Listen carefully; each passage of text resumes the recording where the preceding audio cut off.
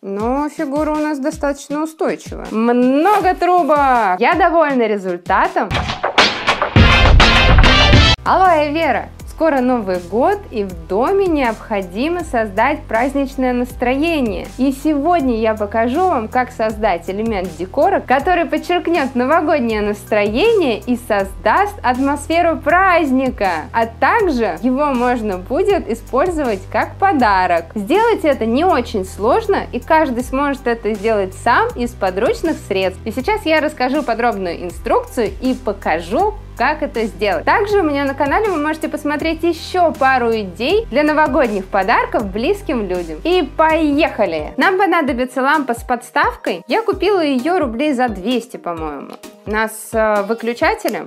Я думаю, в принципе, вы можете найти такую лампу в любом хозяйственном магазине. Также нам понадобится карандаш и пачка цветной бумаги. В принципе, вы можете взять и газеты, затем их покрасить. Можно, в принципе, сделать из любой бумаги, но я сделала цветную голубую. Сначала нам необходимо сделать трубочки. Вокруг карандаша я обворачиваю лист бумаги и наношу клей на одну его сторону на угол. Затем скручиваю трубку склеиваю трубочку и вытаскиваю карандаш. Таких трубочек нам понадобится сделать много. Я заранее подготовилась и сделала много трубок. Вокруг лампы мы будем выкладывать фигуру из трубок абстрактной формы, чем-то напоминающее гнездо, который будет э, очень необычно светиться. Пока что я убрала лампу и буду выкладывать пятиугольник из трубочек. Я положу их друг на друга и склею особо прочным клеем. Первый этаж у нас готов. Дальше накладываем таким же образом второй этаж.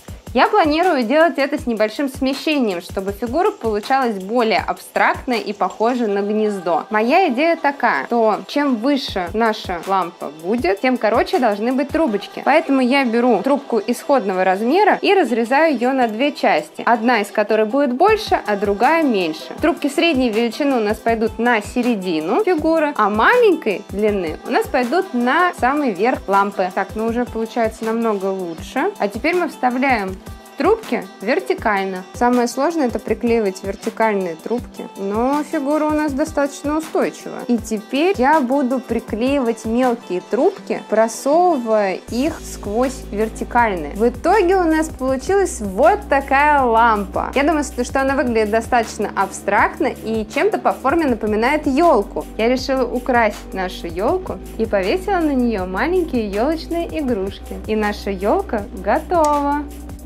По-моему, елка смотрится достаточно эффектно, красиво и создает новогоднее настроение. А теперь давайте посмотрим, как наша лампа будет выглядеть в темноте. Вау, по-моему, очень здорово. Я довольна результатом. Если тебе понравилось это видео, подписывайся, ставь лайк, а также у меня на канале есть много видео на новогоднюю тематику и идеи новогодних подарков. Пока!